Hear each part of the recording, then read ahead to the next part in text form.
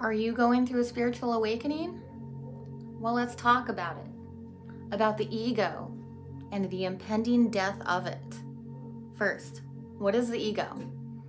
The ego is a term developed by Sigmund Freud, one of the fathers of psychology, and it is described as your sense of self in this reality based experience. It is one part of this trifold explanation of the human experience of the mind.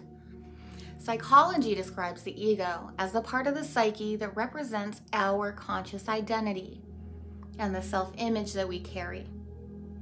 The ego is the part of us that is aware of our environment, our thoughts, and our feelings. Ego is responsible for making decisions and taking action based on the information that we currently have access to.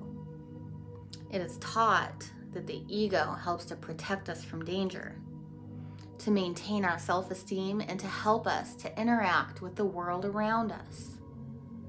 We are taught that it is important to have a healthy ego, as it can help us to stay in control and make decisions which are best for us. Now, let's talk about the ego in terms of spiritual development because this is a huge thing that you are going to have to learn. So, let's go back to the ego being one prong of understanding in this trifold human experience. The ego is the balancing point between what is called the id and the superego. The id represents your intuition and your instinctual knowledge.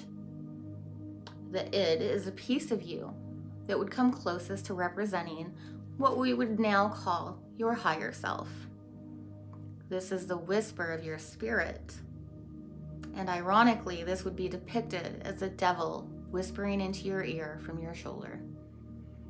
On the other side of this is the superego, which depicts a sense of morality and the spiritual whispers of what is right and what is wrong according to your experience as you see things in your outer world. This is the space where judgments are formed against the things outside of you.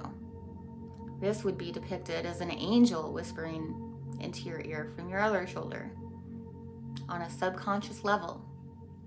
But really, in a spiritual sense, these are depictions of your light and dark sides, your light body and your shadow self.